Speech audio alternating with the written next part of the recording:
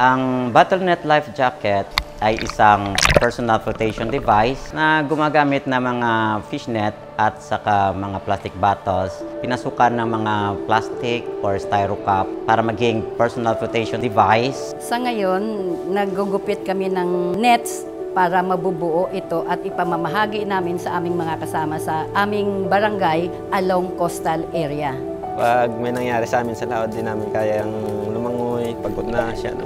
Mas maganda pag mayroon mang mga life vest na ganyan. Ang gaan sa pakiramdam, ma'am. Lahat ng katawan mo talaga pwede mo magalaw eh.